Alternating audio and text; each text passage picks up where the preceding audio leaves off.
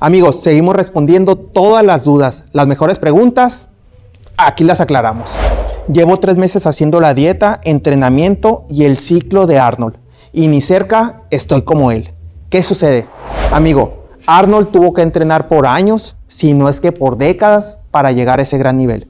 Tú llevas tres meses y ya quieres ver resultados espectaculares. Otro de los factores a tomar en cuenta es la genética. Arnold tenía un nivel físico y una estética especial. Tu cuerpo puede ser diferente y no necesariamente lo que le funcionó a él te va a funcionar a ti. Aunque hagas exactamente lo que hizo Arnold, no significa que vas a obtener los mismos resultados. Cada persona es diferente, ocupa un sistema personalizado para realmente ser la mejor versión de ti mismo. Amigos, me pregunta un atleta, coach, en lugar de hacerme los análisis, mejor le invierto todo a un ciclo más potente. Esta es una duda que muchos tienen y creen que el realizarte unos análisis previos y posterior a una preparación es un gasto y no una inversión. Pero realmente es muy importante saber dónde te encuentras para saber a dónde vas a llegar. Punto número uno. El utilizar un ciclo más potente no te va a garantizar más resultados, pero sí te va a garantizar más efectos secundarios. Punto número 2.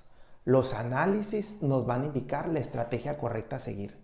Si nuestra salud es óptima, no va a haber ningún problema con hacer lo correcto con el ciclo adecuado. Pero si nuestra salud está mermada por algún problema hormonal, de la tiroides, estrógenos altos, testosterona baja o algún órgano como el hígado, el riñón o incluso la sangre, ahí sí los análisis nos van a indicar si realmente podemos hacer un ciclo o es mejor evitarlo y primero estar sanos.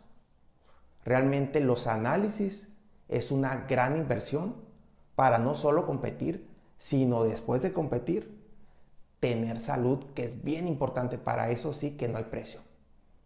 Así que, ya lo saben, es mejor invertir y hacerlo de la manera correcta. ¡Ánimo! Estar mamado es buena inversión.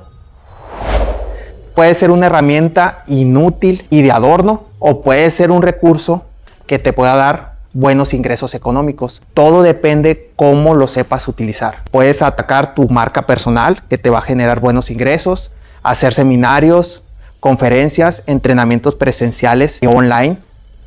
Y al final, si ya nada te funciona, ahí va a estar el OnlyFans